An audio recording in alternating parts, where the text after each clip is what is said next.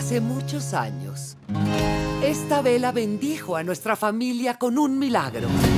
Nuestra casa, nuestra casita, se llenó de magia.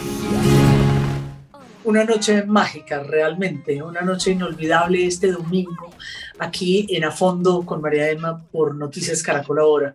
Y es mágica porque así tiene que ser, así es esta familia madrigal, así es ah, esta niña adorable, esta mujer tal vez ah, con esa ética y con ese sentido, Mirabel, y por supuesto por el encanto de un país como el nuestro. Eh, la película Encanto es la que nos trae a esta noche. Las ratas ya me contaron todo. No, quieto. En los momentos más difíciles hay luz cuando menos lo esperas. Y ustedes verán desde el realismo mágico de García Márquez, sus ah, mariposas amarillas, la alpargata, el ajiaco, la arepa con queso, em, los chigüiros, todo ese encanto eh, tan extraordinario que presenta esta película, inclusive hasta el conflicto o el desplazamiento, que yo creo que la primera vez me corregirá, yo creo que, que como, como Juan Carlos decía la primera vez que el conflicto colombiano es mostrado por un estudio de la magnitud de Disney y por supuesto por una magia extraordinaria que tienen eh, sus protagonistas y, y, su productor musical, su Lin Manuel Miranda, que tanto admiramos ese puertorriqueño que nos dio nada más y nada menos que el musical Hamilton en Broadway. Así que bienvenidos a, a esta noche mágica con María Cecilia Botero, una vieja amiga.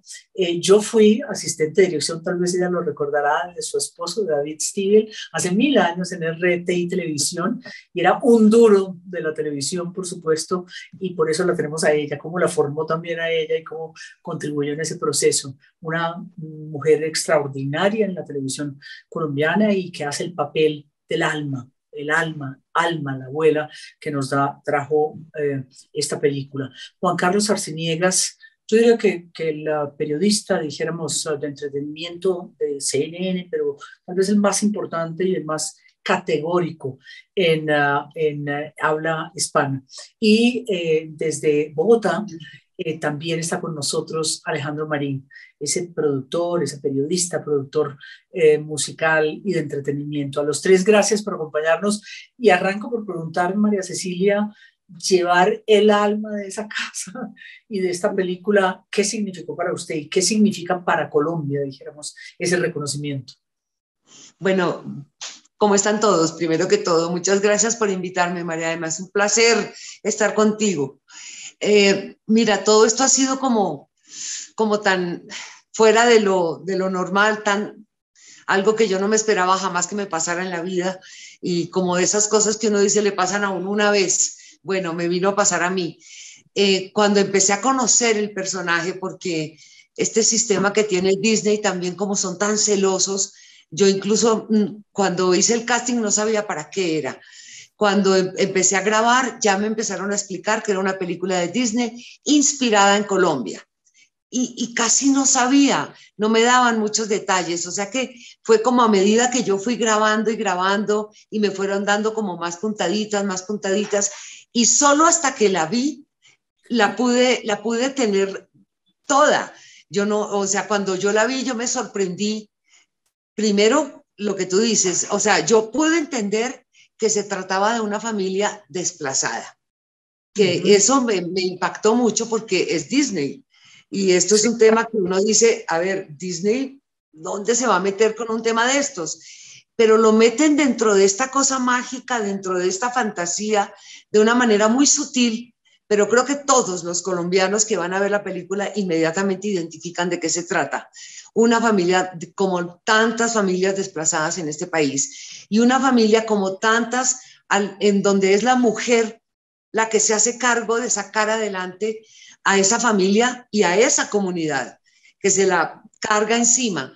Yo creo que estamos muy acostumbrados como a eso, como que sabemos que eso es tan natural y tan normal en Colombia, porque incluso dentro de nuestras mismas familias, no sé si a ti te haya tocado, pero a mí, por un lado o por el otro, yo tuve una abuela que era muy dura, muy dura, y recién cuando fui adulta y entendí cuál era su historia, la pude entender a ella. Y creo que esto es lo que pasa un poco también en la película.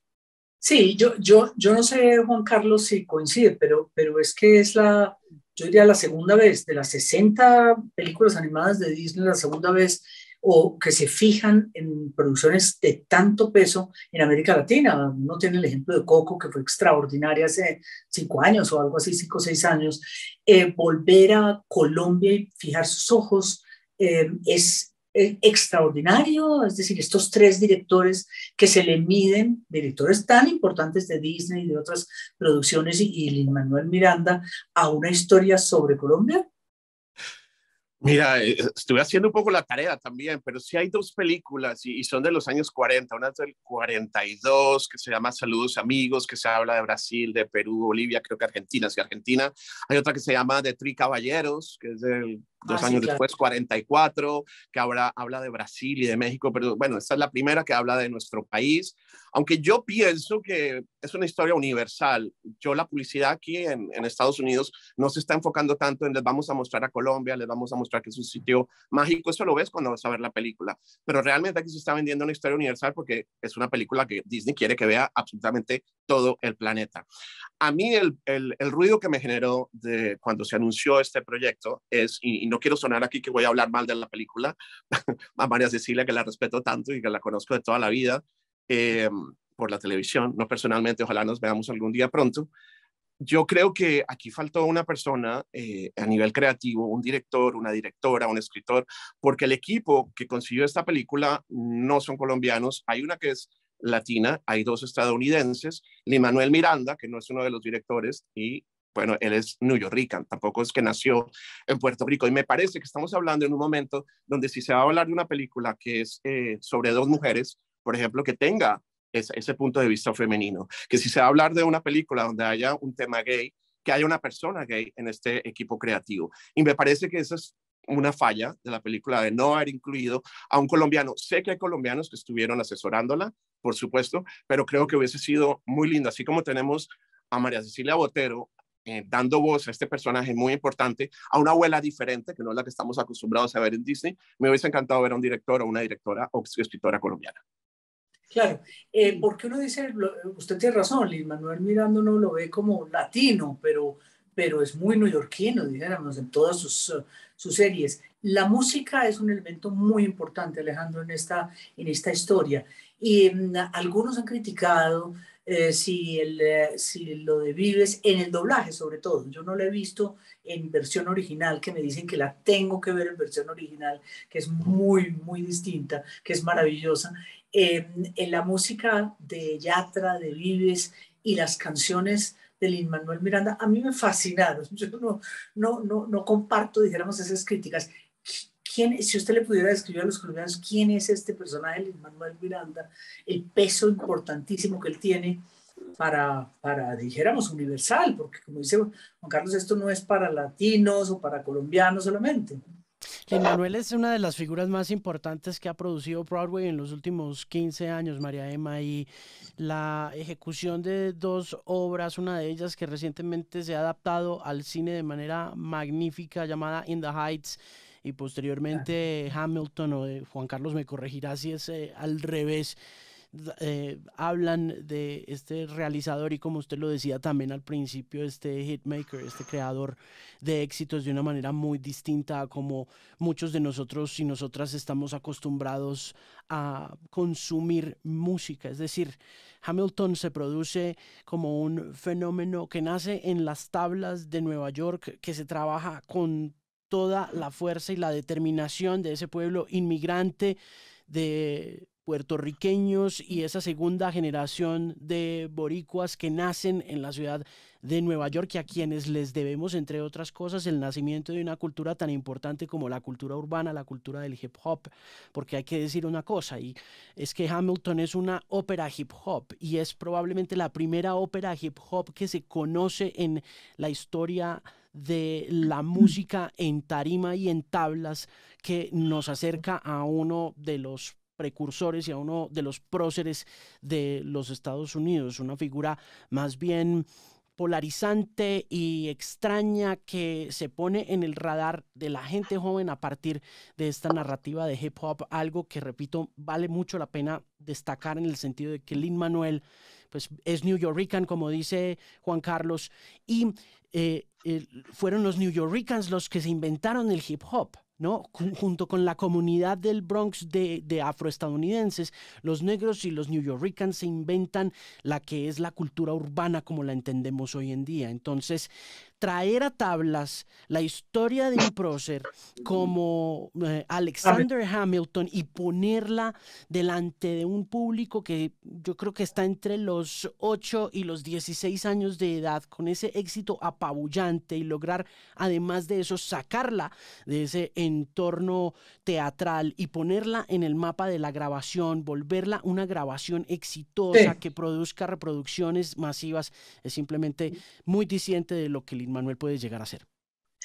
Y lo, increíble es que también ah, Miranda y todos los directores mm, se metieron mucho en Colombia, dijéramos, que es, que es ahí como esa contradicción, porque ellos sí estuvieron mucho en Colombia por tiempos. Em, dice Miranda que él se vino a estudiar a, a Colombia, ¿no? A conocernos y a estudiar nuestro país. Entonces hay como ese elemento eh, en, la, en la película. Pero yo quería preguntarle a María Cecilia qué siente y por supuesto a Juan Carlos, porque a la salida del cine, cuando le preguntamos a muchos chiquitos, lo más importante para ellos es la relación abuelita, abuelita-nieta. Entonces Mirabel Alma era como lo que más les interesó, eh, con lo que más gozaron.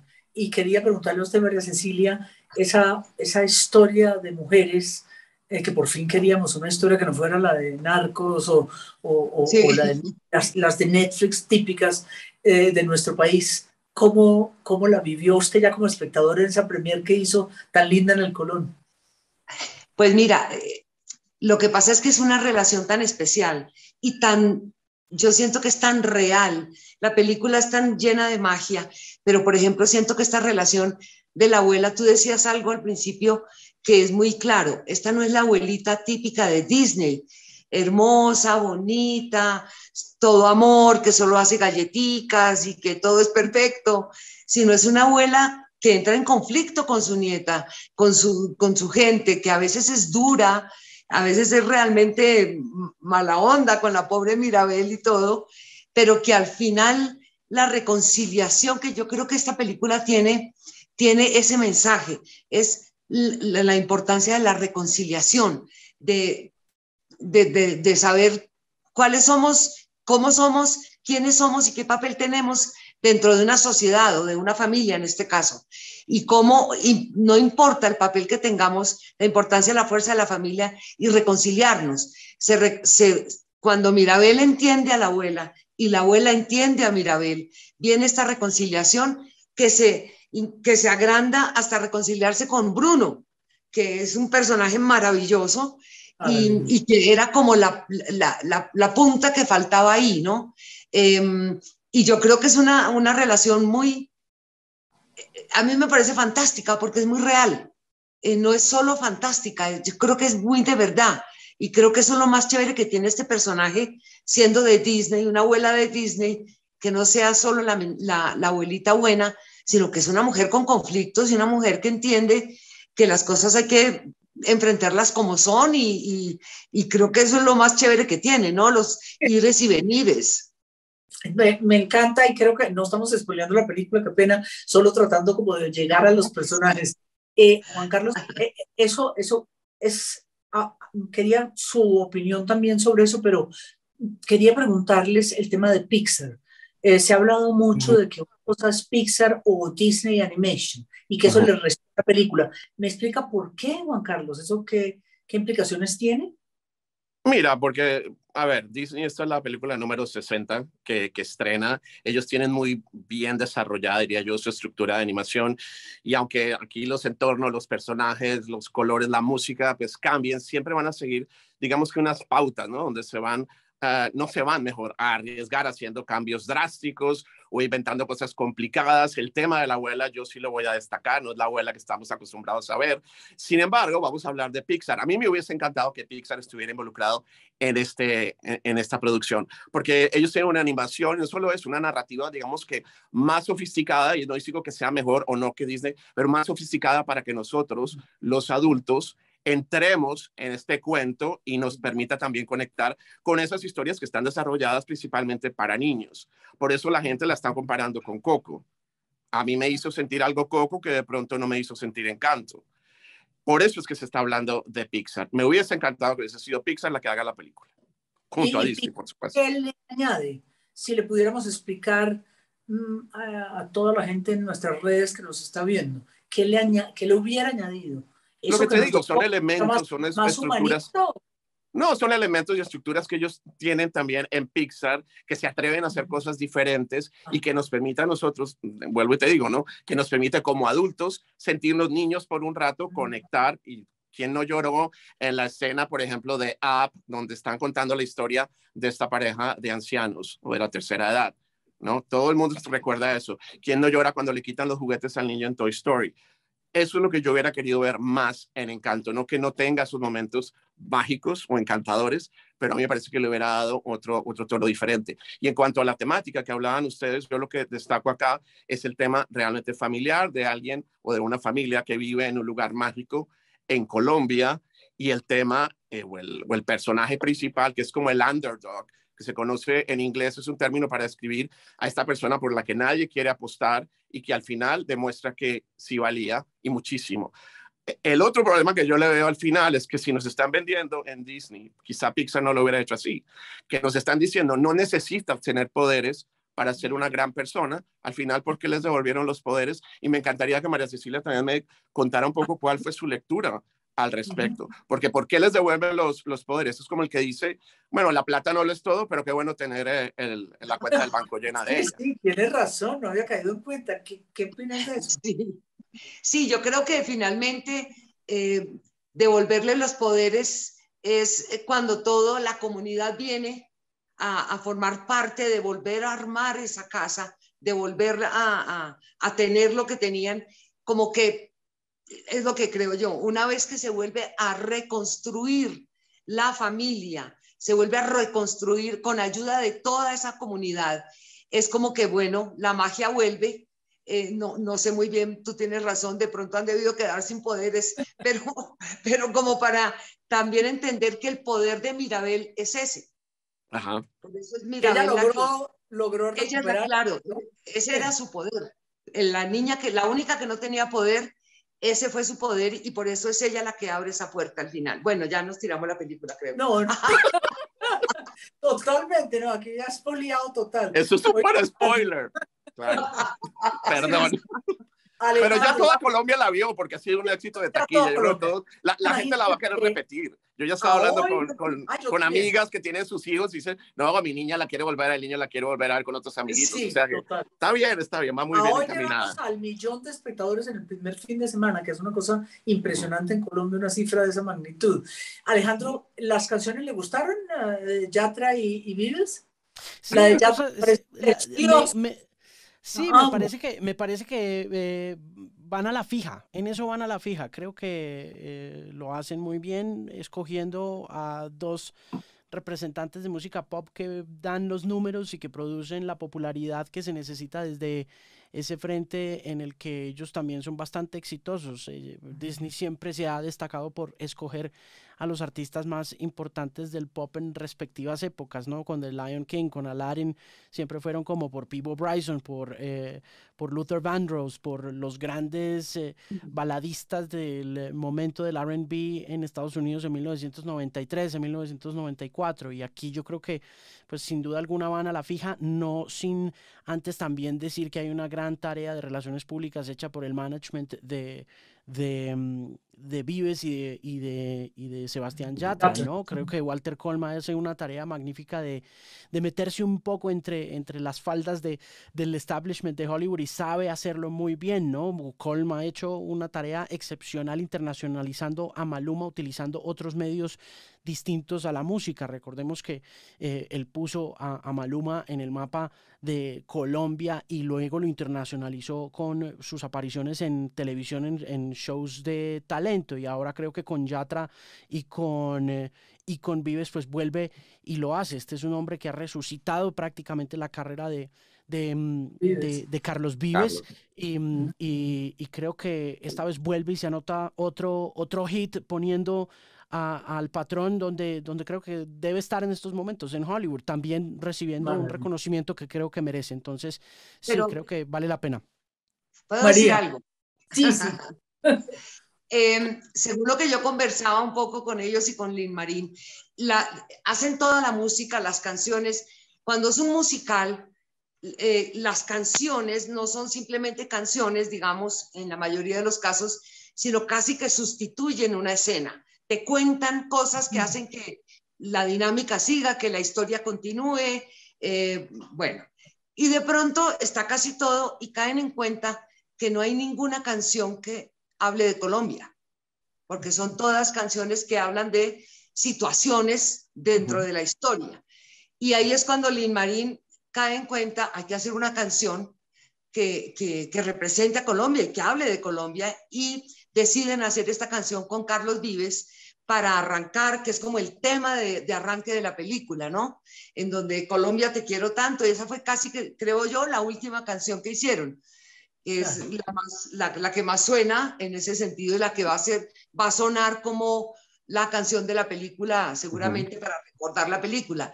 Y la de Yatra, que es una hermosura de canción, es hermosa realmente. Y creo que siempre, no sé, creo que en la versión en inglés también está en español, no, no estoy segura. Juan Carlos, ah, yo vi la versión en inglés. Pues, ah. eh, no, creo que está en español. ¿Cierto? Siempre él la canta en español en ambas versiones. está en español. Mm. Y, que creo que es una de las cosas que, él quería hacer, que la canción fuera en español, así sea en la versión en inglés. ¿Cómo le pareció esa versión en inglés y qué tal, qué tal la música de la película? Para ti, Juan Carlos. Ah, para mí. Eh, no, pues de, nuevo, me, me, me, divertí mucho. No, no, no necesariamente, no estoy hablando ni la de Carlos Vives, que bueno, es, es el sello de él, es una canción de, parece una canción de un repertorio suyo normal. Uh, y la de Yatra creo que es como la más tierna de toda la película, pero el resto de los números musicales me encantaron. Alguien decía que había bachata. Yo, yo creo que Alejandro me va a decir si sí había bachata.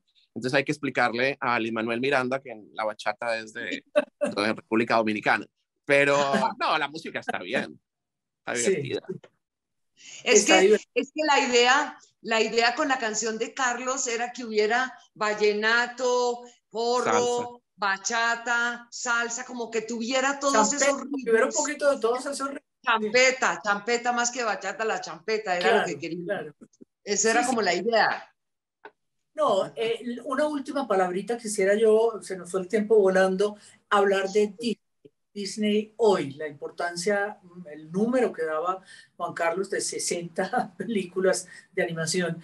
Eh, ¿Cómo está el estudio, Juan Carlos? ¿Cómo lo ve usted Em, y va por buen camino en esta competencia tan feroz que tenemos con los Netflix y con los Amazon Prime y otros? Claro que sí, Disney, Disney es el nuevo Netflix porque siempre ha sido un gigante ¿no? de los grandes estudios tradicionales y Netflix vino a pararse encima de todos y decirles, no se ha ganado todavía el Oscar a Mejor Película, eso es lo que le duele a Netflix aún, vamos a ver qué pasa este año, pero Disney está convertido, ahora tiene Fox, yo estaba viendo ayer la película de West Side Story en los estudios Fox y es una película de Disney es una, es una locura. Ellos son los dueños del planeta y esta película ha hecho tanto dinero también a nivel mundial porque es la primera que Disney en pandemia, en casi dos años, lanza única y exclusivamente en salas de cine. Si esta película estuviera en su plataforma Disney Plus, seguramente no hubiera hecho tanto dinero porque la gente todavía tiene miedo por el tema de, del coronavirus y ahora con esta nueva variante, pues vamos a ver qué pasa si se vuelven a caer los ingresos de taquilla.